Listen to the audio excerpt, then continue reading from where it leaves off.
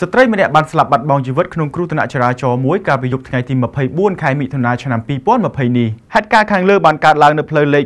289សង្កាត់បឹងកក់មួយរាជធានីភ្នំពេញបើយោងតាមបុរសម្នាក់ដែលបានឃើញហេតុការណ៍នេះបានឲ្យដឹងថាស្ត្រីខាងលើបានដើរឆ្លងផ្លូវហើយក៏មានរថយន្តមួយគ្រឿងបើកបរក្នុងល្បឿនលឿនបានបុកពេញទំហឹងបណ្ដាលឲ្យស្លាប់បាត់បង់ជីវិតតែម្ដងដោយឡែកករណីគ្រោះថ្នាក់ចរាចរណ៍ផ្សេងមួយទៀតគឺរវាងរថយន្តពីរគ្រឿងបានបុកគ្នាពេញទំហឹងបណ្ដាលឲ្យខូចខាតទាំងសងខាងនៅសង្កាត់បឹងប្រលិតខណ្ឌ7មករារាជធានីភ្នំពេញហើយរថយន្តបង្កហេតុបានរាយចង្កូតទៅបុកបង្គោលភ្លើងនៅក្បែរនោះករណីចរាចរណ៍ផ្សេងមួយទៀតគឺរថយន្តម៉ាក Mazda បានបើកបុករបាំងពុះចែកទ្រូងផ្លូវទៅតាមបណ្ដោយផ្លូវមនីវងដែលបណ្ដាលឲ្យខូចខាតរថយន្តផ្នែកខាងមុខតែមិនមានមនុស្សរងរបួសនោះទេពីខ្ញុំបាទ My Virax on News